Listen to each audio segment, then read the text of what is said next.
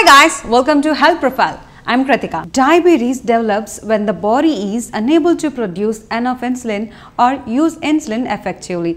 Insulin is made in the pancreas, an organ located behind the stomach. The pancreas contains clusters of cells called islets. The beta cells within the islets make insulin and release it to the blood.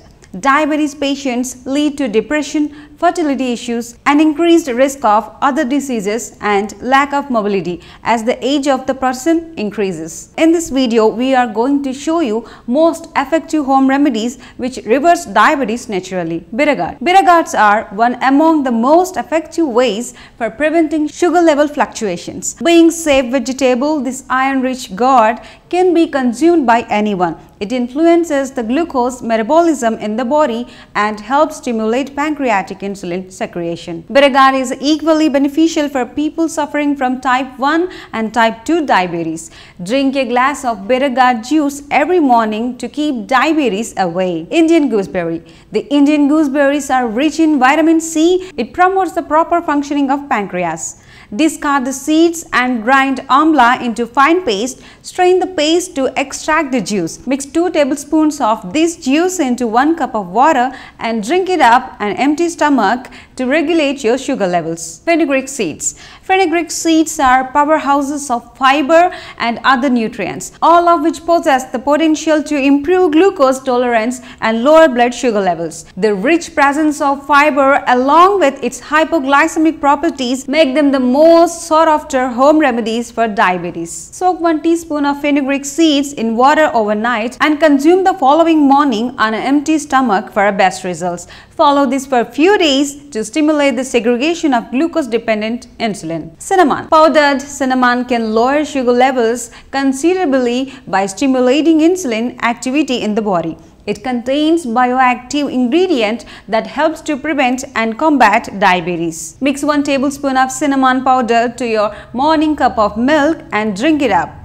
Alternatively, just swallow a pinch of cinnamon powder with the water daily. Mango leaves. Mango leaves possesses the ability to improve blood lipid profiles while regulating insulin levels in the body. Dry the leaves of the plant and grind it to powdered form. Drink half a teaspoon of this powder with warm water every morning on empty stomach to curb the rising sugar levels. Curry leaves. Chew 10 to 12 fresh curry leaves every day for better results. These leaves are known to lower the rate of starch breakdown. It keeps the blood sugar at normal levels. It also lowers the cholesterol and helps in losing weight. Aloe vera. Aloe vera juice can help control and regulate sugar levels in diabetics. Mix 2 tablespoons of aloe vera gel with 1 tablespoon of bay leaf powder, half tablespoon of turmeric powder.